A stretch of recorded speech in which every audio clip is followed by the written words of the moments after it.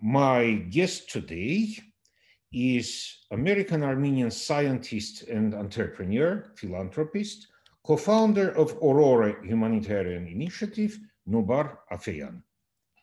Hi, Noubar. Hi, Mark. Great to be here. Uh, let me start this conversation with a quote from you. And that quote will be No one is an expert in developing Armenia.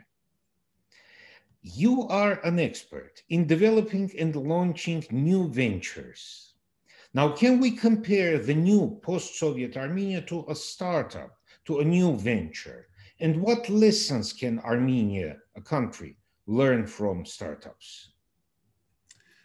Well, Mark, I've said the, the, the comment you, you referenced in, in relation to the question I often get asked and have been asked for the past 20 years since getting involved in the first steps towards uh, development of Armenia, which was the Armenia 2020 project that Ruben Vardanyan and I launched together with colleagues uh, almost 20 years ago.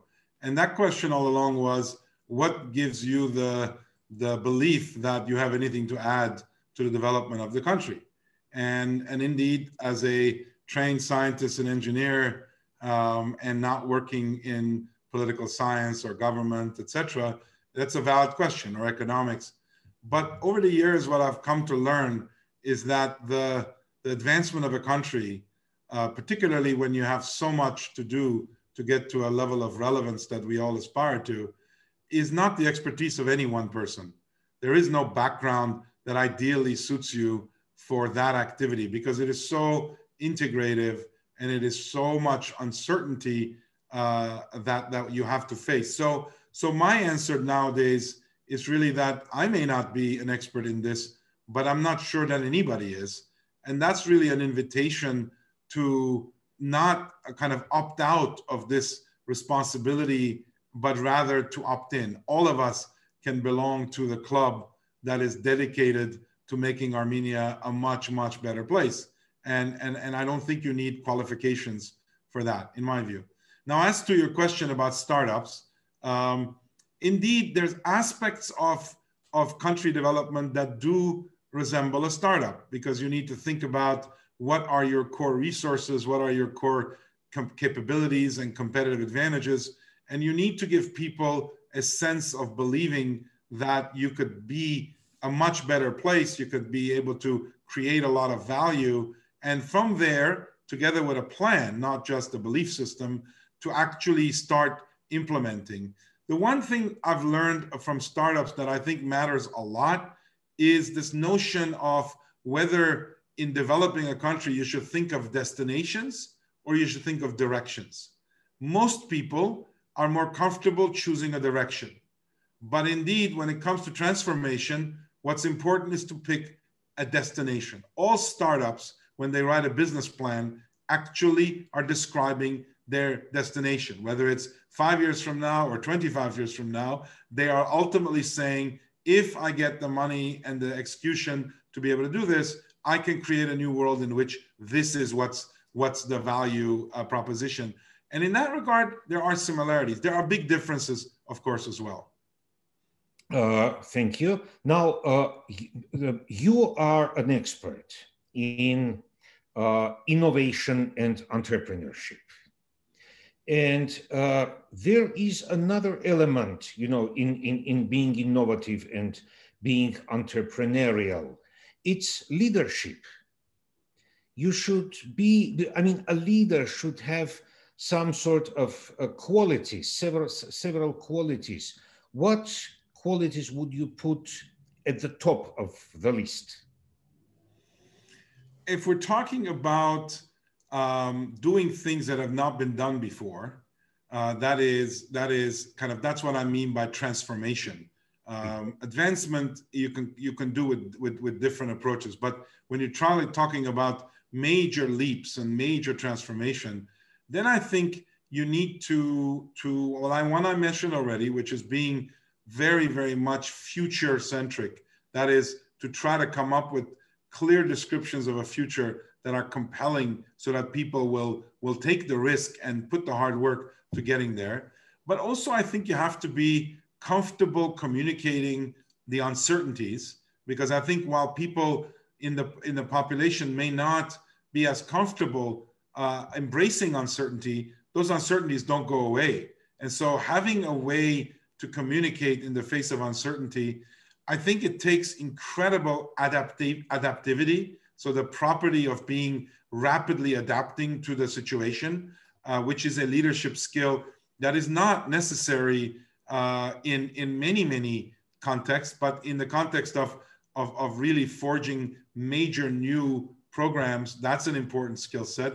Of course, there are many many others. Leadership is a topic that is a lot of basic things and then a few special things. I'm mentioning some of the special things. Now, uh, when you say this uh, uh, ability of dealing with uncertainty, what helps there? You know, uh, when, when we're talking about a country and about development to a specific place where we want this country to be, uh, no. Mm-hmm. Yeah, I, I mean, I it's a good question, and I will try to answer it. Although um, it's it's quite specific to the personalities involved as well. But I would say, you know, over the years, maybe I'll, I'll answer it this way, Mark. I have found in in the entrepreneurial kind of world, the the, the big, you know, where, where you try to do what in this country people call unicorns, where you're trying to go from zero to billions of dollars of value and over and over and over again, which is what my what my company at Flagship has been attempting to do and have done for many times. I think that the, the, the best description I can give you is a mindset, uh, which I call paranoid optimism. Uh, and what I mean by that is that you need to be able to, as a person, at the same time, be optimistic about what can be accomplished and, and, and, and sometimes see things that others don't see and believe that you can take people there but at the same time, you need to be paranoid about the assumptions that you're making in order to feed the paranoid, uh, the, the optimism. So this duality of paranoid and optimist, it's a fairly tortured state, I will say, and many entrepreneurs live in this tortured state because the paranoia makes you nervous, makes you poised, makes you humble, makes you humble because when you're thinking from the paranoid side of your brain, you constantly are imagining all the ways in which things can fail and how you're going to overcome them. And that's an important thing. Look, I think it is easier to kind of ignore that side of one's brain, focus on optimism, and, and call it pragmatism, which is kind of having it be based in reality, etc. But at the end of the day, it's hard to make big advancements if all you do is what everybody else is doing you need to do some things that are different, that are daring. And the only safety valve for that I've found over the years is this duality. Think of it as a, uh, a brake and a gas pedal with the steering wheel in your hand. If you don't have a gas pedal and a brake, you can drive off of a cliff. Doesn't matter what the steering wheel is doing. And you need the two, you need to be able to. But, but look, the other thing I'll say is I use the word humility. I think when you're facing uncertainty, in leadership, people often want to assert the reality, to assert the truth, to assert what's going to happen so that the leader seems that they know a lot. My experience is that when you have extreme uncertainty, that is a problematic uh, uh, uh, approach because it's patently clear that nobody knows what's actually going to happen.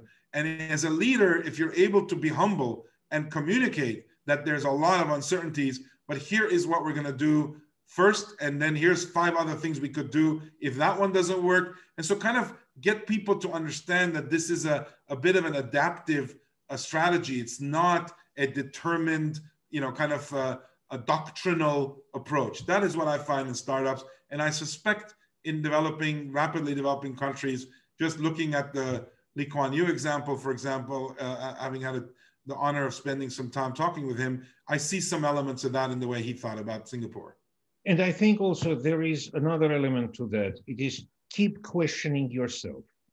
Exactly. That's what I mean by paranoid, by the way, is that don't drink your own Kool Aid, is the way we call it in this country. So even though you believe what you believe, question it so that as things change, you can pick up the new signal much more quickly than if you didn't question it except once a year or once six months. That that is when you're not going to be quickly enough adapting. Now, uh, Noubar, when I came back to Armenia some uh, seven years ago, I noticed that we Armenians are very good in talking about the past. But there is something we must, I mean, there is the future we must think about if we want to create uh, our own future. Uh, so there should be some sort of a change in the way we think.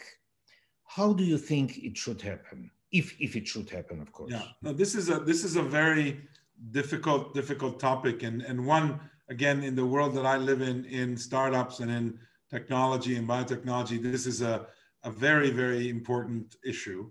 Um, look, I think that as humans we are more comfortable with what we are familiar with. And the past, because it's already happened, it's something we're familiar with. Um, our memories tend to remember good things or bad things. So the past always looks better than it really was. Just a, an optimism bias that we have that comes from uh, how it's has been well documented that, that that also comes backwards as to what we choose to to remember.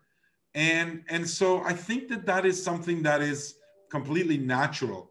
On the other hand um, as we look at the future i think that most of us are operating with the with the belief that the future is going to happen. Nobody can predict the future. That's true uh, as it relates to accuracy accuracy of prediction is hard and so therefore why bother spending a lot of time talking about the future the future is the result of what we do today. Eventually, that future will appear. I believe in the opposite. I believe that if you if you if you want to create a future that is more attractive for you to live in than the present, then what you need to do is literally be obsessive about all the possible futures that could exist envision them in your mind that's why you know i'd say in, in, in human beings probably the one of the most, if not the most advanced capability we have is imagination. It's not thought, it's imagination. It's being able to simulate alternative realities ahead of time and compare them. And so, one of the things that I'll kind of describe, Mark, to you, and again, some of this will seem esoteric and unrelated, but I would invite the audience to stop and think about it. We have the ability to imagine multiple different versions of a week from now and multiple different versions of a month from now or a year from now. We choose not to do it because we think, what's the purpose of doing it? But we have the facility to do it. Now, I would argue that by, by being able to envision the alternative futures and then talking between people about the merits of different alternatives, you can begin to get a consensus around what might be a desirable destination it's much harder to argue should I go left, should I go right, based on what? Well, you know, I think right is where the money is, or right is where the power is. It, it, arbitrary discussions. But if you say, I want to, in five years, have a country that has this, this, this advancement, this uh, GDP, this level of equality, this level of governance, then you work backwards and you say, okay, well, if I want to get there, what did I have to do two years from now? So I'm, I'm describing something that is well known to people. They call it scenario analysis. But my appeal, especially at this moment in Armenian life, is that we need look, as a people, we have been uprooted and derooted over and over in our history. And I believe, having been born in Lebanon, grew up in Lebanon and then Montreal, Canada before coming here and spending uh, five, six trips a year to Armenia for the last 20 years, I don't know where my roots are. I don't know in what country they are. I don't know in what time they are. So it gives me the ability to choose to put my roots into the future. So imagine a tree. If you were a tree and your roots were 10, 20 years in the future, and you still live today, but in order to fulfill what your roots are trying to pull you towards, that's a different way to live. It's a different way to discuss future. And so, you know, we've said with a lot of colleagues that when we do work in Armenia, our ultimate client, our ultimate customer is a five year old, because that five year old is only going to benefit 15, 20 years from now. has no voice, has no political power. And if we don't collectively create that better future, then they're going to be, uh, uh, they, they, by the time they get there, it's too late for them. Now, I'll say one other thing, Mark. Sorry, I'm going on and on. Uh, most people will say, yeah, but people are suffering today. They said it back in 2001. They say it now in 2020. People are suffering today, and we can't prioritize the future over the present. The problem is, if you don't prioritize the future over the present, you will be condemned to the same present with no matter what. And so, what you need to do is to get people to realize that a significant amount of the work has to be to ensure a better future so that the present, as painful as it is, has a purpose. Otherwise, imagine being in a bad present, present, and then imagining a bad future. That's why people immigrate. So I'll say one other thing to come to immigration just for a second. Think about whether people would immigrate away from something that they thought within two, three, five, ten years credibly could become where they would have wished they immigrated without having to leave their ethnicity, their, their scenery, their family, whatever. I think that is the goal we should all take. No, but we will come to immigration, I mean, I believe straight uh, with the next question. But when we're talking about scenario building, when we're talking about building, you know, what we want to achieve in the future and how shall we go there, that's difficult, isn't it? Mm-hmm. And that's probably quite difficult. And many politicians, they just being, uh, you know, very uh, good speakers, good talking people, and very charismatic people, they just cannot do that in many cases. That is a big problem, Mark. I've, I've come to learn over the decades that I've spent now, and that's just, you know, and I've talked to many other now uh, leaders in other countries, given the rest of my activities also recently uh, with, with, with, with some of the work on the vaccines and the like. I've had occasion, and, and through Aurora, by the way, to interact with many different types of leaders in other countries. And, and, and what I would agree with you is that the kind of the political realm is, is people who are trying to figure out what is the most palatable, attractive version of the present that people will support and vote for and and and essentially the, it, it, if you figure out what that is then that becomes the platform whereas a future heavily future centered future rooted platform is quite disturbing to the present and therefore it's difficult to imagine how, how one gets votes by by projecting describing and and planning for a set of sacrifices until such a future is achieved unfortunately, that's the way in which change is going to happen, no matter what the country is.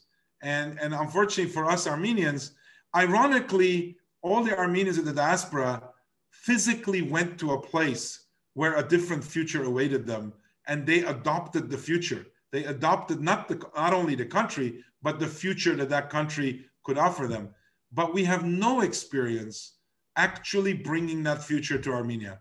And, and I agree, political process, voting uh, disadvantages this topic. I can tell you that over the over the years and years that we've worked on scenarios and projects that look to change significant parts about about the future of Armenia, we were largely marginalized by the whoever were in the even intelligentsia or the government at the time because it seemed esoteric, it seemed ambiguous, it seemed not politically relevant. Uh, and, and I think that that's why we're from the reality. Sorry? Too philosophical and a bit far from the reality, right? Uh, it's the reality we need to get to. If we're not happy with the current reality, why should we obsess over the current reality? This is what we're trying to get away from. So the question is, what are we trying to go to? That's the problem. Is if you keep thinking about the present reality, you, you don't have any way of taking the steps needed to get to a new reality. And, and you're, you're dead on. That is the problem with change. Nobody really wants it. Now, uh, Noubar, uh, as I promised, the next question is about uh, diaspora. And we are basically a nation of immigrants. And all these years of existence of the Third Armenian Republic, we have been trying to understand and creating a role for the diaspora in Armenia. I think so far, the only thing we have learned is that diaspora is not just for sending money to Armenia. But that's a negative lesson. I'm sure there are also positive lessons. Uh, and, and we need them, don't we? Well, what's I can talk about generally the diaspora, but look, I think that since Armenia achieved its most recent independence, diaspora has itself undergone a quiet revolution in that what was a comfortable feeling before of, of um, preservation of, of, of, of diasporan Armenianness, spurka hayabahbanum, not hayabahbanum, but spurka, the, the maintaining the variant of Armenian we had become and, and staunchly defending it, whether you're from Lebanon or Iran or, or, or in Canada, that, that Uh, became threatened because we had another form of Armenia to, to, to or Armenianness to protect, and which was the Armenia-centric, state-centric version of the new reality. Not saying in the last 30 years, we have as a diaspora collectively done very, very, very little compared to what is possible in, in adjusting to that new reality. Because just like the country feels threatened by the difficulties of day-to-day life, in the diaspora, it became even more difficult to do what we used to do because what we used to do was predicated on not having a country. We were happily in exile. And so that reality, Mark, I'm sad to say, 30 years later, really hasn't changed all that much. I'm, of course, not talking about Russian based Armenians or Armenians living in Turkey who are a special kind of Georgia, a special kind of diaspora. I'm talking about the diasporas that were formed after the genocide primarily. So I think that the current environment we're in and the crisis that we, we face, which we may want to come back and talk about, are is an opportunity perhaps for the diaspora, and which is of course not a homogeneous thing, to also ask itself, why does it want to belong to this club, to this sect of being Armenian, and what responsibilities come with that? And, and as, a, as an American Armenian, I know what my responsibilities to, to America are, but I have no idea what my responsibilities to Armenia should be or are. I, you know, diasporans have no say in, in any of the day-to-day decisions that are made. A lot of people say, nor should they have, and perhaps they're right. But then the question is, then what should they do? And, and I, I hope that the current crisis invites much more uh, kind of difficult discussions about our roles and responsibilities in building an Armenian nation, uh, rebuilding an Armenian nation. You know, we several years ago issued a, an appeal in 2016, maybe it was, in the New York Times and other places to call for Armenians to form a global Armenian network that could become a source of, of, of energy and support and stability for Armenia as a country. Um, that hasn't been very much uh, uh, echoed or received. But I, I think there are many, uh, there's so much more to do at this moment. And I'm hoping the moment will allow some of these things to happen. And I think also that uh, Armenia has a lot to do in this respect because it's not only about using the potential of the diaspora, it's also inviting diasporans and helping diaspora uh, uh Armenians to uh, come into contact with, uh, you know, with, with uh, Armenia proper. Uh, and I, I, also think that uh, we, we all have a lot to do here. Yeah, I would say, Mark, to that end, it has been difficult, I think, to the authorities, no matter who they are over the years, to truly welcome input from external Armenian sources. It's been my observation that people have been far more willing to take exp expert input from non-Armenians uh, because they've felt that at least they're not being critical, they're just being helpful. But I think that we have a personality collectively where if another Armenian says something, it's viewed as criticism immediately. And so people don't want to hear the criticism. They figured, well, what do you know about what it's like here? You don't know. I don't want to become Ireland. I don't want to become Singapore. And they rapidly dismiss it as though kind of Armenia has to be built in strictly an Armenian way, which is nobody knows what it is. The current status quo prevails. I, it takes incredible self-confidence and incredible self-doubt to be open to other people's opinion, especially other Armenians' opinion. Uh, uh, are we coming here to this um, uh, paranoid optimism, as, as you said? I, I think so. It takes it's not it's it's hard work every minute of every day. Look, I I tell people very often when when there's a lot of uncertainty about what to do. Clearly, the country currently faces massive uncertainty of what to do in every in every dimension uh, it, it, you have to be seeking the truth. Nobody owns the truth right now. Nobody knows what to do and what will be the most successful strategy. But when you then uh, seek input, you cannot feel like when people are questioning you that therefore they're doubting you and they're criticizing you across the board. This is not meant for any one person. This is meant for every institution that we have, every institution. Uh, uh, uh unions of different types all around the world, you know, kind of our own organizations, government institutions, academia, everybody feels like if you question them, you've questioned them. And therefore, you don't trust them and you don't believe them. And then they question you back by saying, Who are you to question? And then it's lost because, because nobody who's questioning them actually knows the truth. I don't know any answers. I've told people that for years and years, but I know a few questions. And if they're not willing to hear the questions, I am sure that they're not going to get the right answers. We came here to another uh, important uh, um, uh, element in our conversation. Unfortunately, I believe it's going to be the last element in our conversation because there are also several questions that came from the public, and I would like to put forward some of them. Now, this last element is we here in Armenia, we are very good in critics, in, cri in critique. Uh, but critique is directed to the past or to the present in the best case scenario. Uh, if we are going to think about future, we need programs and not critics. Uh, but it looks, uh, I mean, it's very hard to find public demand for programs, does it? both in politics and in business here in Armenia.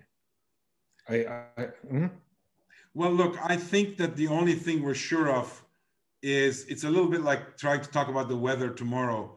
Generally, you will be right if you predict this the same as today, more often than not. That's not a prediction. That's just projecting the status quo. I, I find that the only thing that is people feel comfortable with is what they've already done or what they're doing now. So I, I agree with you you know, you, the, the critique that you're talking about, I use slightly different words. I tell people in the medical profession, you have diagnostics and then you have treatments. The value of diagnostics without treatments actually is, is very low because what is supposed, somebody supposed to do with knowing that they have something, but there's nothing that you can offer them to do something about it? I think our job collectively is to marry up diagnostics with treatments, even if the treatments aren't guaranteed, even if they're not even tested. But we need to offer here's what I observe and here's what to do about it. And that's where some of the programs come from. You know, look, it is clear that we need for the countries, you know, the, to me, the biggest issue with the country right now is security. It's not physical military security only, it is security of every kind security economically, security health wise, educationally, socially. Security has to be for the next hundred years in my view, our we took our guard down. You know, when when, Armenia became part of the Soviet Union, our security broadly, all aspects of security, was outsourced to a larger collective.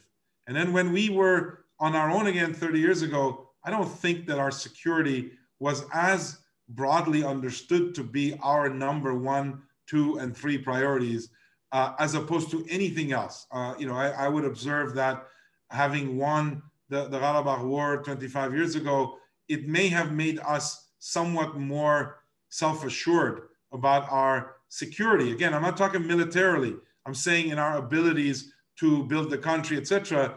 And and I, the paranoid in me says that if you think about security, you'll always find things that are going to be serious challenges. So how we think about security, how we think about honesty with each other, which is the other big, big thing that has to come with programs.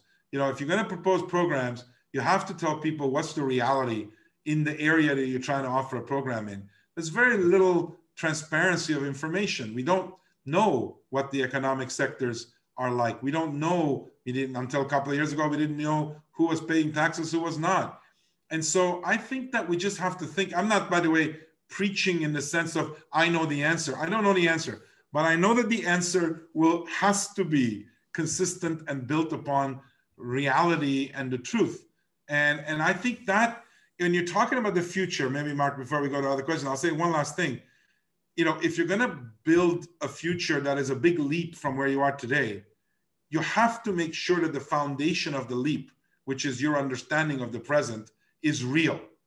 If it's not real and you have an illusion about the present and you want to leap to the future, I think that's a very different activity because you might have selected the wrong future because it's completely incompatible with what the givens were. And so I think if you insist on a level of, of, of clarity of what the reality is, and then choose from among options, programs follow, and then the critiques become constructive because they always come with action. Yes, and, and living in illusions and with illusions is another problem that we are facing in our everyday life.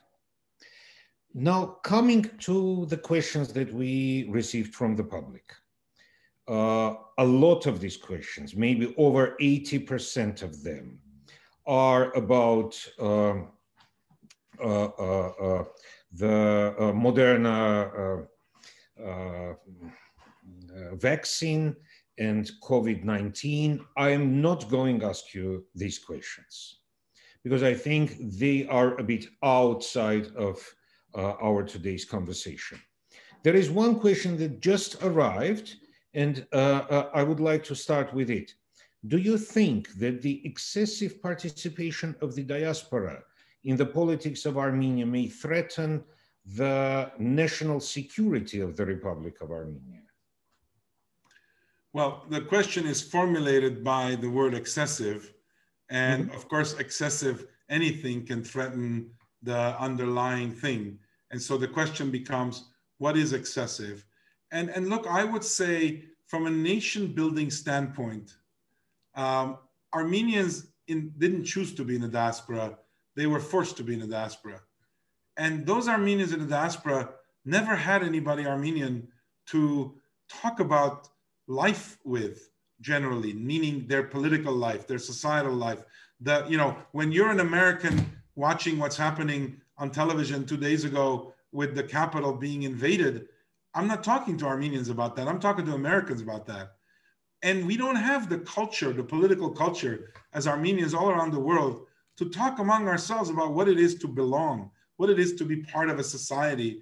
And so i would say some level of political discourse amidst diaspora Armenians is actually good because that will make them aware of what it is to govern, what it is to be governed, what, what is the social contract, right? I mean, there's a whole notion of a social contract. Right now, a diaspora Armenian has no social contract with any Armenian state. They don't have any form of a social Armenian contract. What if there was such a thing? What if we discussed what would be in it? What would not be in it? So I agree that diasporans, you know, there are limits to what diasporan Armenians can and should do. There's of course questions about where was somebody's paying taxes, where somebody's sending, you know, kind of from militaries. All of those things can be discussed. But I would invite the audience to think that if we can uh, awaken a political science sensibility across the Armenian nation globally, uh, 20 years from now, there will be some real leaders coming from anywhere in the world who will dedicate their lives to create better Armenians. It's because we don't have any of that. I did not grow up, honestly, I did not grow up with any exposure to thinking, okay, what's a good, what's the, the elements of a great Armenia? And I don't think most of us have. It's all about going back to, to Turkey and reclaiming our lands. That's not politics. That's an, an important cause. But politics involves what are you going to do with poverty? What are you going to do with inequality? What are you going to do with, with, with, with equity, corruption, uh, truth, on and on and on, foreign relations? So I would say we can all afford a little more of caring about these things. But I agree with the questioner. If it becomes excessive, it's ungovernable. Now, Noubar, uh, one of the questions we received earlier is uh, again about the same issue. Uh, aid to Armenia is disjointed, as many organizations are involved in this process, each doing their own thing. Can we form a uniform body that can work in conjunction with the Armenian government and the diaspora to uh, help these organizations work in unison uh, to better Armenia? We can and we should, but it's proven super difficult, Mark. And I'll, and I'll come back to the same topic we've been talking about, which is that if we don't share a common vision of a future, why unite? Right? We, we all think we know better than the other people, and we all doubt that the other person's money is going to the right place, right? So, so a, you know, in, when we give, it's a, it, the definition of a second is the time between when we give and when we wonder if it went to the right place. Well, that that that comes from living just in the moment. If we could broadly have discussions and and bit by bit start kind of agreeing on a shared view, maybe not a completely identical view, then of course we could do things that that benefit from from a sense of of, of collectivism, if not unity. I mean, unity to me is the ultimate kind of form of collectivism. I don't think we need unity, but we need to have a collective understanding of what some common goals are. And we don't have that.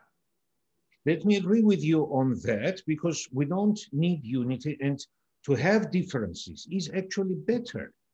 It's better from the point of view of today, and it's also better from the point of view of understanding of where we are going. You know, being different, offering different uh, uh, uh, approaches and maybe different futures. We uh, also have the choice of where do we want to go. And when we are all unified and united, uh, there is only one future and we don't know, uh, I mean, and we, we, we, we leave ourselves without a choice. I agree. Look, I, uh, Mark, I, I believe, given what I do in my scientific life, in uh, as you would expect, in in biology and nature as a very kind of uh, important teacher of many things. Among them is the fact that nature solves problems through many parallel approaches uh, the ones that survive end up unpredictable given the fact that you don't know what the threat is. But when the threats arrive, the ones that survive are, are not kind of one thing, but are many different solutions that are at any given time competing for it. To me, you know, kind of political thought and political agendas are that type of a competitive environment and, and, and, and differences in thought, not just in about governance, but about what the future should be, are imperative, absolutely imperative, but but they define a set of common values. That's the other thing is that if you talk about alternative futures and you realize that you know, 90% of them all have three, four things that seem to keep coming up over and over, you can then at least say, let's agree on these common values, these common principles. And, and that brings us together. And then the particular versions may keep us apart so that if one of them end up being better than the other, we could switch and follow the other. That, that is super consistent with the way nature works. Thank you. And uh, we have time, I think, for another, for a last question. Uh, uh, one, uh, a member of the public says, I understand that the president of Armenia is these days holding discussions with many organizations about the immediate situation facing Armenia and its future. Is he going to meet with the At the Crossroads team? well, uh, I think it's I think it's it's fair to say, given the number of public uh, discourses we've had with the, with the president as well as the prime minister quite separately, not to mix the two roles. But with the president, we have relationships that go back 20 years, and and he has been involved actually when he was in his prior life in various of our projects in in, in honorary roles uh, as well as being parts of the board, uh, whether it be with you know being part of the the, the um, FAST, the, the Foundation for Armenian Science Technology board, and, and many other things. So we are uh, very much um, kind of aware of each other's hopes and dreams for the future, and we have always stood ready to to engage in discussing again with all humility, with all recognition that we don't have the answers, but we know a few questions uh, in, in, in building a brighter future. I think we all want the same thing. We may have different ways of getting there. And um, since this is the last question, I'll just end by saying that, you know, for anybody listening to this uh, who, which, who has affinity for Armenians, not just is Armenian, because we can debate what the definition of that is. Mark, you may know that in the last few years, I have invited all Armenians to become Armenians by choice as opposed to Armenians by birth indicating thereby their commitment to what an Armenian will be in the future, not Armenian as some kind of a birthright. But I, I whatever, whoever, however we do it, I think that this is the moment where our commitment to Armenia's future is the hope that the people, especially who live in Armenia today, need. Uh, just committing to taking care of the current problems isn't going to change anything. So we need to do both. And we both, and we all, uh, of course, wish uh, our president to get well as soon as possible because as we speak, he is sick with coronavirus in London. Indeed, indeed. And let's uh, finish our uh, dialogue. It's a, it was a very interesting dialogue. I would love to continue it, but the time is limited. Uh, my guest today was an American Armenian scientist, entrepreneur, philanthropist and co-founder of Aurora Humanitarian Initiative, Noubar Afeyan, and I am Mark Grigorian, a journalist. Goodbye.